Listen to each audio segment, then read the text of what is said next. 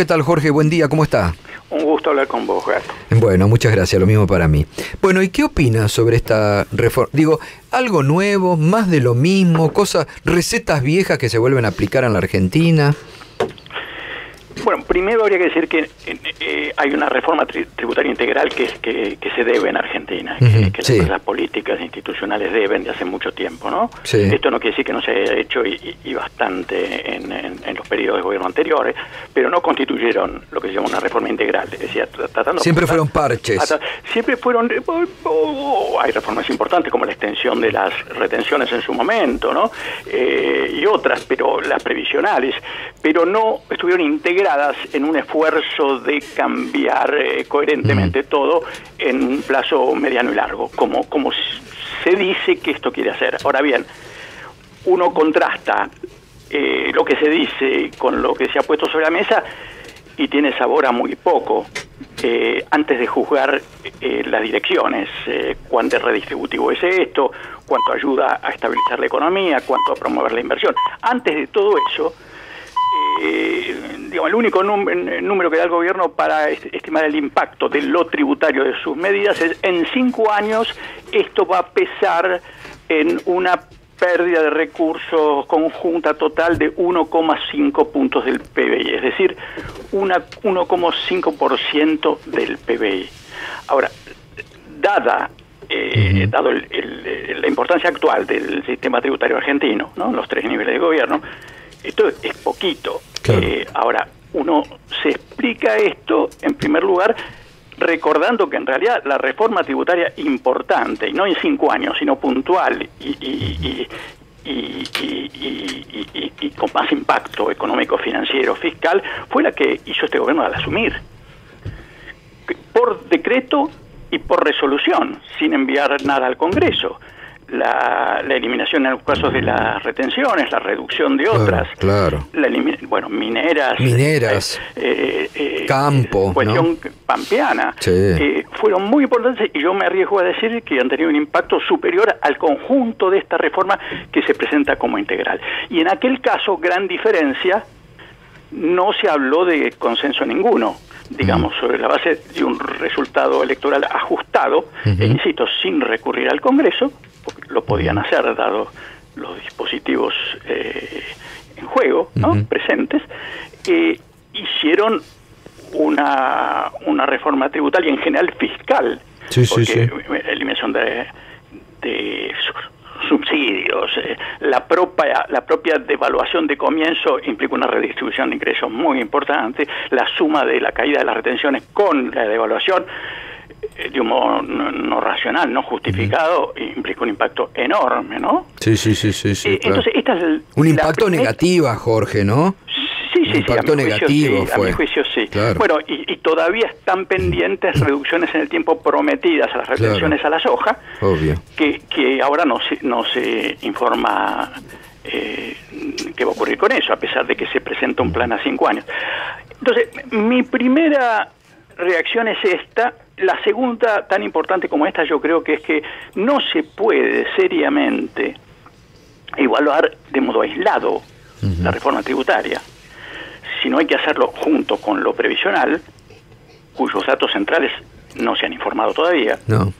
Por ejemplo, el impacto de la caída de las jubilaciones producto de las medidas que quieren aplicar. Claro.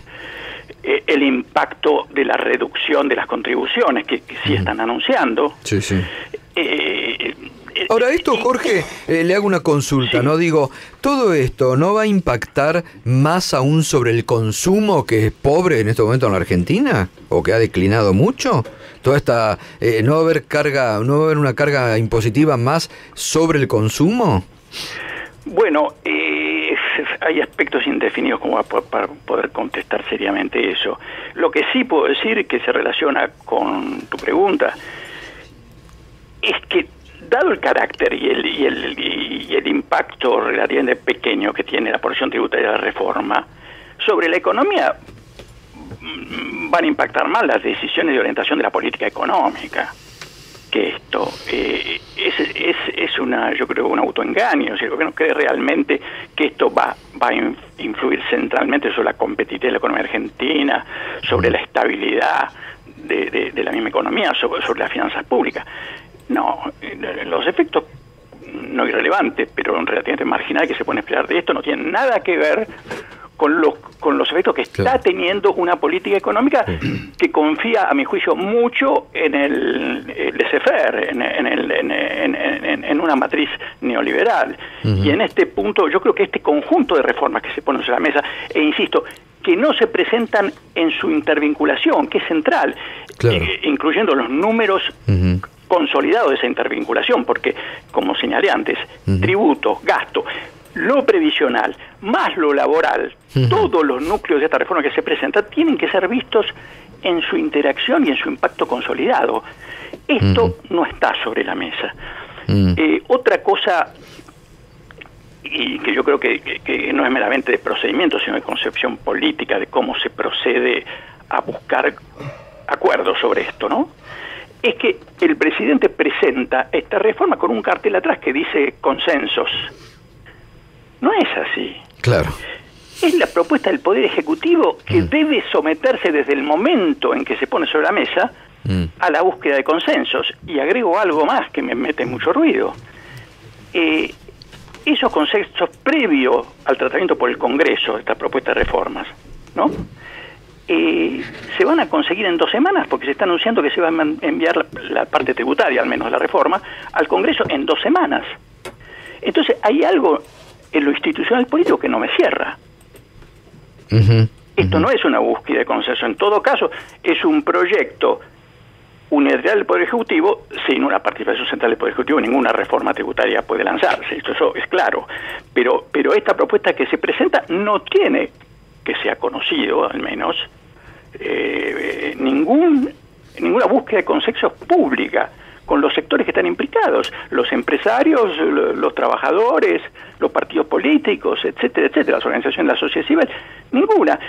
Entonces se lo va a mandar sin búsqueda previa de concepto al Congreso, que es eh, el, órgano del poder que legítimamente tiene que tratar esto. Pero cosa está bien armada, después de una búsqueda mínima de consensos. Claro, claro, está claro, está claro. bueno, Jorge, vamos a ver entonces cómo se... porque tiene razón, esto hay que ponerlo sobre la mesa y tiene que ir al Parlamento y producir todos los debates y las discusiones ahí en el Parlamento. Nomás por ahora es poco claro, digamos. Las provincias sí que están implicadas en aspectos muy importantes que están poniendo sobre la mesa. Por ejemplo, la pretensión de reducir a la mitad los ingresos brutos, los sellos. Sí, sí, sí. Que son impuestos provinciales. Mm. Una omisión importante, eh, el impuesto a la herencia, que me juicio que restablecer en todo el territorio nacional, ni figura en la propuesta. Claro, está bien. El, impuesto a los bienes personales, a los patrimonios, que fue tan reducido como que se el blanqueo, no se lo toca. Mm. Bueno. Claro.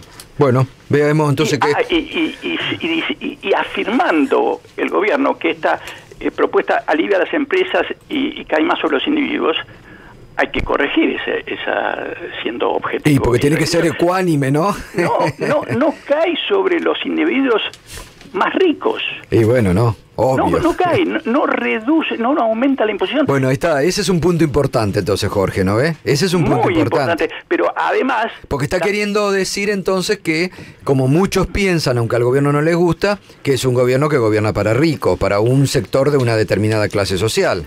Bueno, yo diría que sí y diría que hay una matriz neoliberal contra lo que dicen algunos economistas. Mi amigo Pablo Berchón, por ejemplo, se debe decir que, este es un gobierno de, centro popular. ¿Qué es eso? ¿Qué es eso? Eh, eh, eh, ayer el presidente le dio una entrevista a La Nación sí. y planteó claramente cómo él ve la cosa. Dice, bueno, el, el, gobierno, el Estado tiene que proveer orientaciones, pero el país va a crecer por lo que hace el sector privado, no el Estado. Dice. Esa es una concepción neoliberal. Y totalmente, porque, el Estado tiene mucho que hacer.